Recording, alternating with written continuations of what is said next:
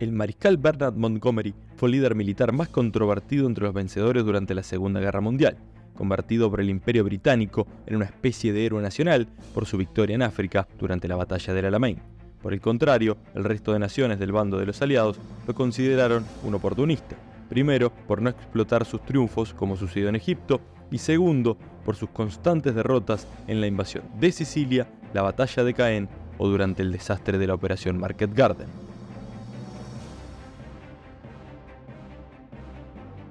Montgomery nació un 17 de noviembre de 1887 en Inglaterra, concretamente en la ciudad de Londres. Siendo un apasionado del ejército británico, Monty ingresó en la Academia Militar, graduándose en 1908 como subteniente.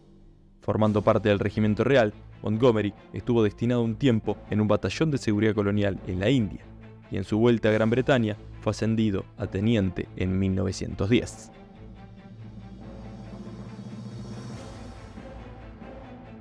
Al estallar la Primera Guerra Mundial, en agosto de 1914, Monty estuvo en el primer contingente de soldados enviados al frente occidental de Francia como parte de la Fuerza Expedicionaria Británica. Su primer bautismo de fuego tuvo lugar durante la Batalla de la Frontera, y sumándose a la penosa retirada por Le Mans tras el avance del ejército alemán. En la batalla de Flandes, Montgomery resultó herido por una bayoneta cuando luchaba cuerpo a cuerpo dentro de una trinchera. Logró ser evacuado a la retaguardia para luego ser tratado en el hospital. Recuperado de sus heridas, Montgomery regresó al frente occidental en 1916 con el grado de capitán y como parte del Estado Mayor de la Gran División de Infantería número 33. Al año siguiente, en 1918, Montgomery tuvo la ocasión de conocer a Winston Churchill, por aquel entonces ministro de Municiones. En ese mismo año, también fue ascendido en el escalafón militar al rango de teniente coronel. Poco antes de acabar el conflicto, Monty tomó parte de la ofensiva de los 100 días, contribuyendo con sus tropas a liberar la ciudad de Lille el 17 de octubre de 1918.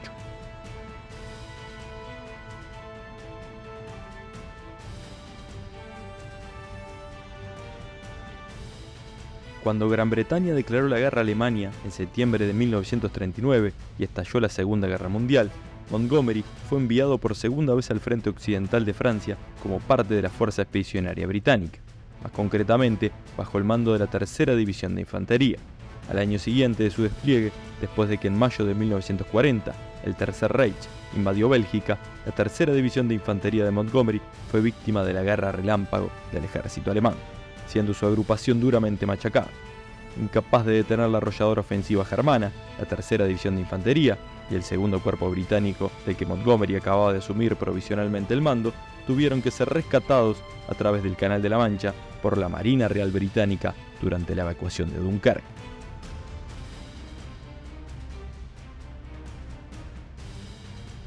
Montgomery asume como nuevo general y fue puesto al mando del octavo ejército británico en Egipto el 13 de agosto de 1942.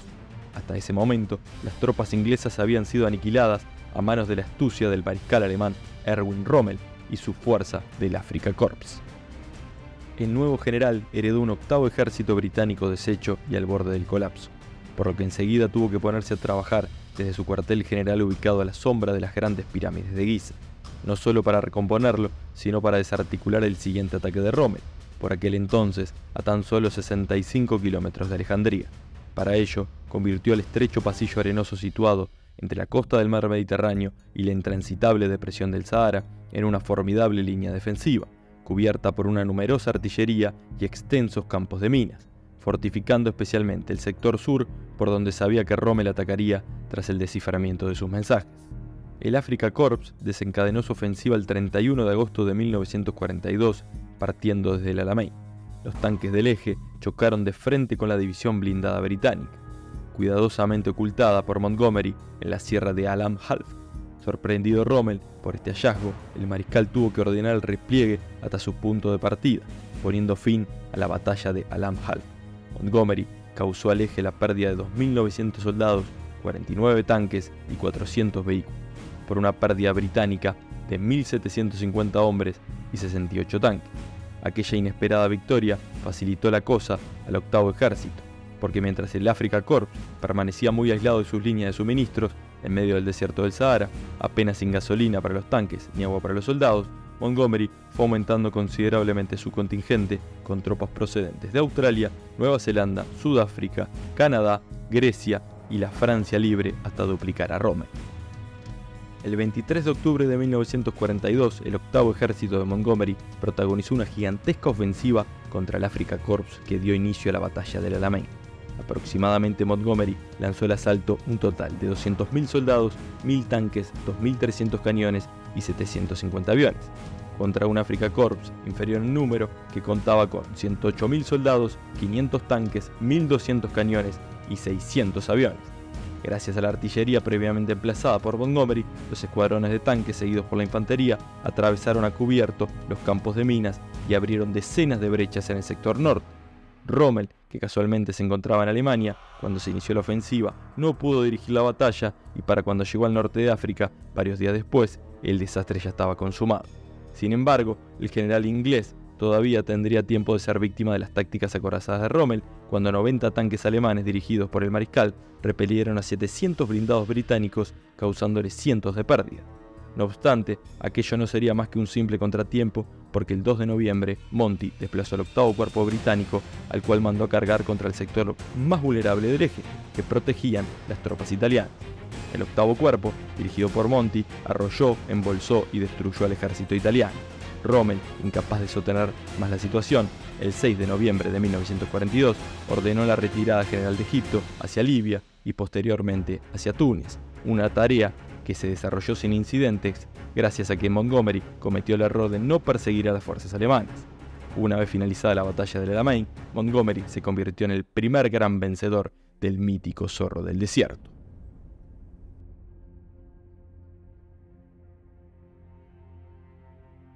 Bajo el nombre de Operación Husky, los aliados desembarcaron en Sicilia el 10 de julio de 1943, haciéndolo el séptimo ejército estadounidense del general George Patton al sur de la isla sobre Gela, mientras que el octavo ejército británico de Monty en la costa insular oriental.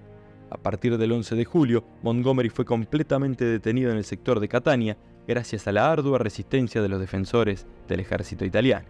De este modo, e inmovilizado el octavo ejército, Montgomery comprobó cómo el general George Patton dejó atrás Gela liderando magistralmente al séptimo ejército estadounidense con el que invadió el litoral occidental de la isla y el puerto de Palermo.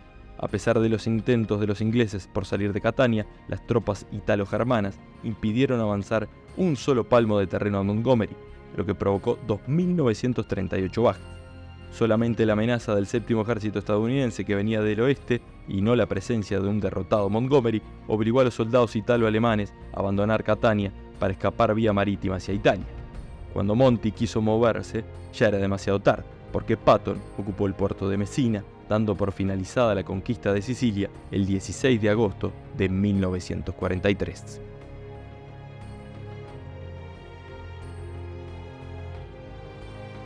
El 6 de junio de 1944, el general Bernard Montgomery estuvo al mando del onceavo grupo de ejércitos anglo-canadiense, que el día D protagonizó el desembarco de Normandía, depositando a miles de tropas británicas y canadienses sobre las playas de Gol, Juno y Sword. Aunque sus hombres tuvieron dificultades para hacerse con las playas, pronto avanzaron hacia el interior para quedar completamente detenidos a las puertas de Caen. Frente a él tenía al mariscal Rommel, liderando el grupo de ejércitos B, quien de manera magistral mantuvo inmóviles a los anglo-canadienses causándoles más de 50.000 bajas y la destrucción de miles de tanques y vehículos durante lo que se conoció como la Batalla de Caen. Solamente gracias al general norteamericano George Patton, al mando del tercer ejército estadounidense, que derrotó durante la Operación Cobra a las fuerzas del eje, los alemanes se vieron obligados a abandonar Caen para no ser embolsados, cediendo la ciudad a un humillado Montgomery el 6 de agosto. Concluida la invasión de Francia, el ejército de Montgomery entró en Bélgica y liberó Bruselas. Se detuvo en la frontera con los Países Bajos debido a la escasez de gasolina y a la fuerte presión ejercida por el grupo de ejército B del mariscal Walter Model. A raíz de estos inconvenientes, Montgomery propuso a Eisenhower superar las fortificaciones de la línea Cifrido, que protegían la frontera con Alemania, efectuando un simple rodeo por Holanda, debido a que dicho sector era el único sin defender. Eisenhower aprobó la operación Market Garden, en cuyas líneas Montgomery preveía la ocupación de los Países Bajos mediante un asalto con paracaidistas sobre varias ciudades, seguido a continuación por un ataque terrestre. Así fue como el 17 de septiembre de 1944, más de 40.000 paracaidistas al mando de Monty tomaron tierra en Holanda. Sin embargo, Montgomery cometió el gravísimo error de no contar con la resistencia que el ejército alemán presentó en el trayecto que había de cubrir el cuerpo británico sobre la carretera para socorrer a los paracaidistas, por lo que muy pronto la misión dejó de ser una ofensiva para convertirse en una operación de rescate. Cuando Montgomery quiso reaccionar, ya era demasiado tarde, porque los paracaidistas norteamericanos quedaron aislados sufriendo enormes bajas y lo que fue peor, la primera división aerotransportada británica resultaron rodeadas por fuerzas acorazadas de la Waffen-SS y completamente aniquiladas. Ante ese desastre militar y tras haber sufrido más de 20.000 bajas, Montgomery ordenó la retirada general de los Países Bajos y regresar hacia Bélgica.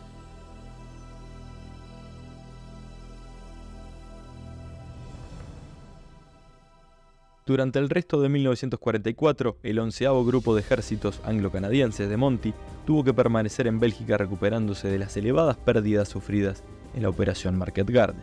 Solamente sus tropas vieron algo de acción durante la batalla de las Ardenas a finales de 1944, cuando algunas de las unidades de Montgomery fueron enviadas para apoyar el esfuerzo bélico del ejército estadounidense en las últimas fases de la campaña.